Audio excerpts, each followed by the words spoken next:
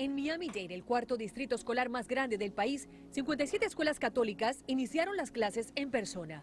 La directora de la escuela, Monseñor Edward Pace, asegura que están listos, a pesar de que el estado está entre los 33 que registran aumentos de casos de COVID-19. Si tenemos alumnos que eh, vienen positivos, que se tienen que quedar en la casa, eh, pues siguen, se vuelven a quedar en sus casas aprendiendo virtualmente. Los estudiantes parecen contentos de sentirse cerca y aprender más allá de una computadora.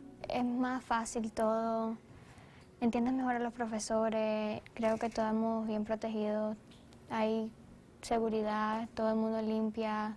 En este colegio en específico, solo el 35% de su población estará asistiendo de forma presencial. Al llegar el proceso es el siguiente. Entran por esta puerta, caminan hacia este termómetro donde toman su temperatura, llenan un formulario en sus teléfonos celulares. Una vez listos, pasan a esta zona que sirve del área de almuerzo y también como una zona de espera. Como ven, está preparada con plásticos y cada silla colocada a seis pies de distancia. Yo me siento segura eh, 100%. It's imperative that these young adults recognize El director de los CDC, Robert Redfield, dijo que los jóvenes de 18 a 25 años hacen el 26% de las nuevas infecciones en el país.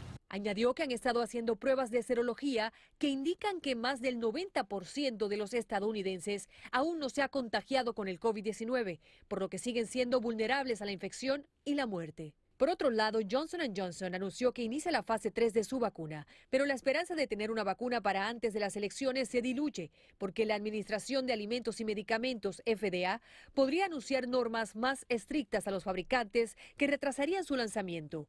Una de estas consiste en que los voluntarios tendrían que ser monitoreados por al menos dos meses después de recibir la segunda dosis. Desde Miami, Florida, Carolina Rosario, primer impacto.